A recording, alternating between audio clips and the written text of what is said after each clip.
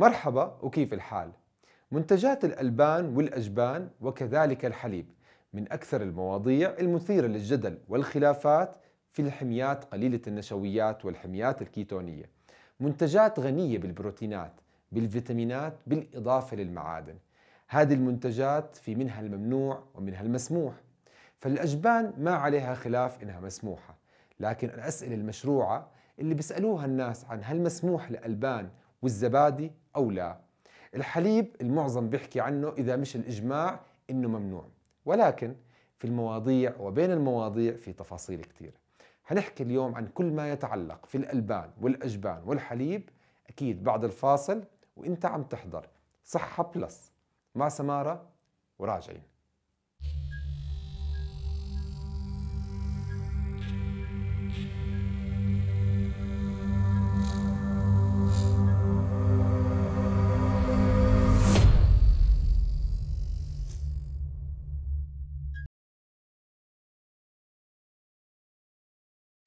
في بداية حلقتنا لليوم وقبل ما نبدأ نتكلم عن المسموح والممنوع في الكيتو خلينا نتكلم عن الحليب واللي بيسموه أهلنا في مصر اللبن. الحليب ممنوع منعا قاطعا لاحتوائه على سكر الحليب اللاكتوز فالكوب منه بيحتوي على 12 جرام من اللاكتوز. لكن البعض بيسمحوا باستهلاكه بكميات بسيطة وقليلة بتنحط مع الشاي والقهوة صباحا. رغم إنه هذه الكمية من الشاي أو القهوة اللي فيها حليب بتطلع من الصيام المتقطع لكن لا تستطيع اخراجك من الحمية الكيتونية إذا صار لك زمان ملتزم في الحمية إلا إذا كان عندك مقاومة إنسولين وسكري. أما إذا نبغى نتكلم عن الزبادي فالاختلاف في لهجات العالم العربي هو أصعب على الدارس من معرفة المسموح والممنوع منه. فالزبادي باللغة العربية هو الروب أو الرائب الخاثر وزي ما بيطلقوا عليه أهلنا في الخليج العربي واليمن بالإضافة لمصر والسودان والمغرب يطلق عليه الزبادي. هو دارج في بلاد الشام بالحديث عنه باسم اللبن بينما بالجزائر بيطلقوا عليه الاسم الغربي اليوغرت أو الزبادي أو الرائب المخموص في العراق الغالي بيطلقوا عليه اسم الروبة بينما الحليب باللغة العربية هو اللبن. فإطلاق المصطلح اللبن على الحليب عند المصريين هو الأقرب إلى الصواب. في حلقتنا اليوم حنحكي عن الحليب أو اللبن عن الحليب بينما الزبادي عن الزبادي والأجبان ما حدا عليه خلاف.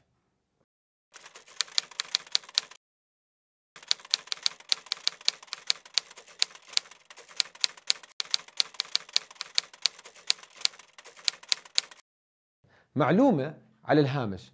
نادرا ما يعاني الأطفال الرضع من عدم قدرة هضم سكر اللاكتوز. وعند حدوثه يجب تحويل الحليب إلى حليب الفورمولا خالي اللاكتوز. سكر اللاكتوز هو سكر الحليب ويحتاج الجهاز الهضمي إلى أنزيم اللاكتيز حتى يتمكن من امتصاصه وتفكيكه داخل الأمعاء. يتباين قدرة البالغين على امتصاص وهضم اللاكتوز بشكل واسع وتقل قدرتهم على امتصاص وهضم اللاكتوز مع التقدم بالعمر حيث يصل عدد الناس الغير قادرين على امتصاص اللاكتوز وهضمه إلى تقريبا 80% من سكان الشرق الأوسط وآسيا. أما النوع الثاني بعد الحليب فهو الروب أو الشنينة.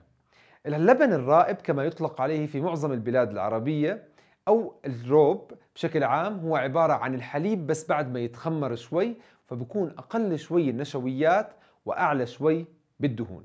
هذا المنتج خصائصه قريبة جدا من الحليب فلذلك هو ممنوع.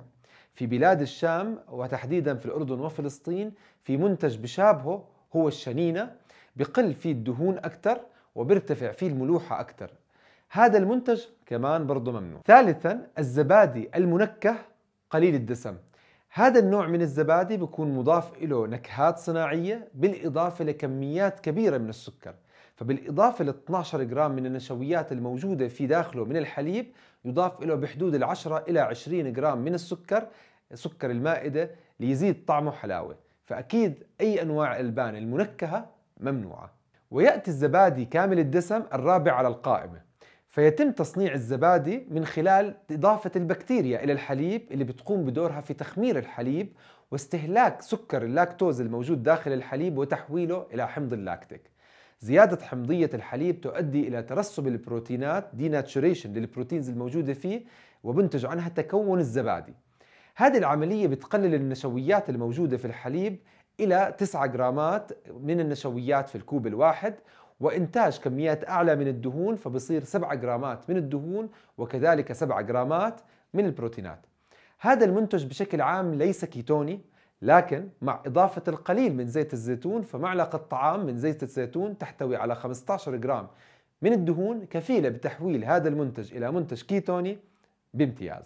أما النقطة الخامسة هي الزبادي اليوناني. لا يختلف الزبادي اليوناني كثيرا عن الزبادي العادي أو الزبادي كامل الدسم وإنما هو نفس الزبادي لكن يتم تصفايته والتخلص من الماء الزائد فيه. هاي العملية بترفع الدهون والبروتينات في هذا المنتج وبتخلص المنتج من النشويات الذائبة في الماء.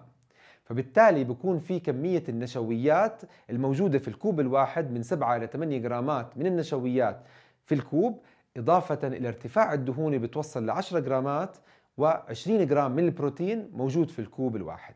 فهو من أفضل أنواع الألبان أو بالأحرى الزبادي اللي يمكن استهلاكه.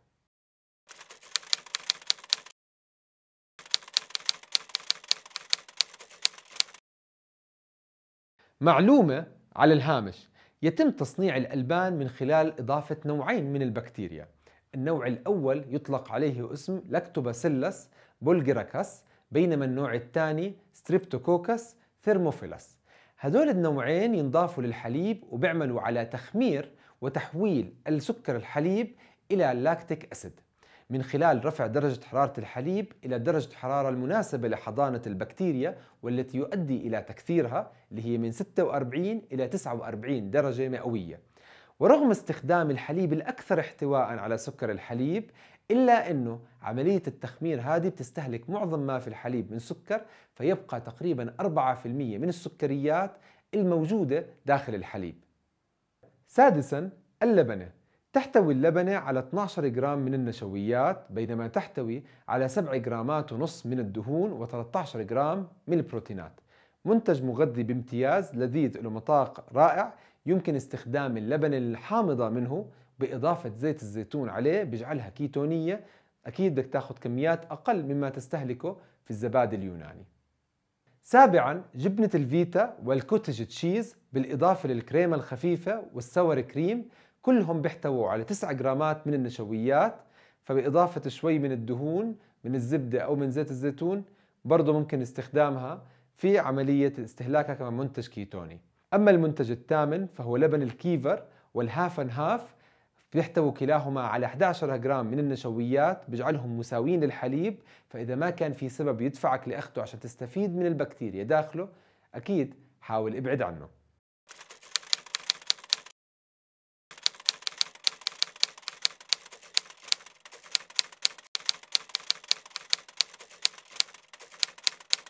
معلومة على الهامش. يعتبر استهلاك منتج الكيفر والمصنع في الولايات المتحدة الأمريكية وفي أوروبا والغرب بشكل عام محرم شرعا في الشريعة الإسلامية. وذلك لاحتواء هذا المنتج على الكحول الناتج من عملية التخمير واللي بتقوم فيها البكتيريا لسكر اللاكتوز. لكن استهلاك الكيفر في البلاد العربية وبلاد الشرق الأوسط والبلاد الإسلامية حلال لأنه يستخدم فيه أطياف بكتيرية معدلة لا تنتج الكحول أثناء عملية تصنيع الكيفر. يعتمد سرعة تحضير الأجبان على حموضة الخليط بالإضافة لتركيز الأملاح وطعمه بيختلف أكيد بسبب نوع وطيف البكتيريا المستخدمة أو الخمائر المستخدمة في تصنيعه أساساً.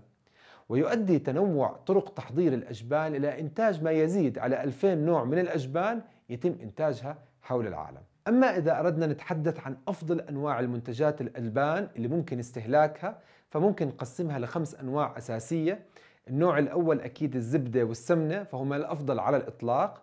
يلي كريمة الخفق الكثيفة كريمة الخفق الكثيفة. أضف إلى ذلك الأجبان المعتقة والأجبان الطرية والزبادي اليوناني. حكينا عن الزبادي اليوناني بداية الحلقة. الآن حنحكي عن ما تبقى. أما النوع الثاني فهي الأجبان شبه الطرية فهي تحتوي على نشويات أعلى مما هو موجود في الأجبان الصلبة وأقل مما هو موجود في الطرية.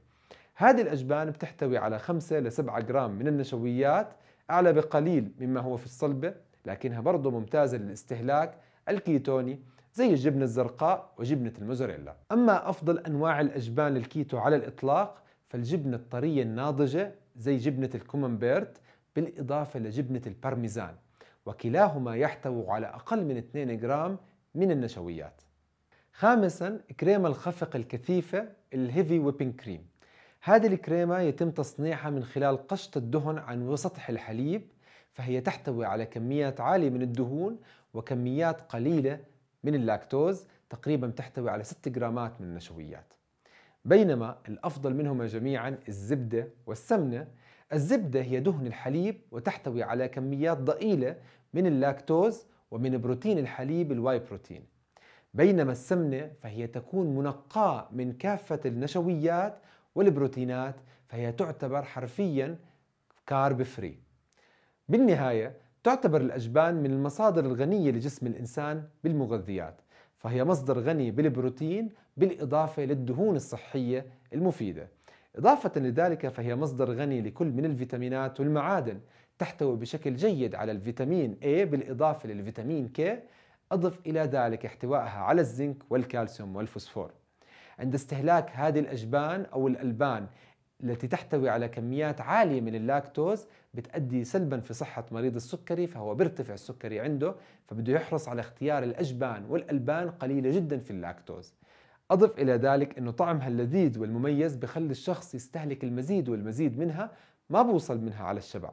فهي بتأدي بسعراتها العالية إلى تثبيت الأوزان. فلذلك عند استهلاك الأجبان والألبان لازم تكون حريص على مصدرها على كمية النشويات فيها والكمية اللي تستهلكها منها. بنهاية حلقتنا لليوم إذا شفت المعلومات بالفيديو مفيدة أكيد لا تبخل على غيرك بال share. فنشر المعلومة أكيد خير وزكاة العلم نشره. وما تبخل على حالك بأنك تنضم للقناة وتكبس على إشارة الجرس حتى تيجيك أول بأول. الإشعارات كل ما يخطر على بالي فكرة مفيدة لك. وما تبخل علي. أحمد سمارة بأنك تعمل لي like فأنا بتشجيعك بستمر.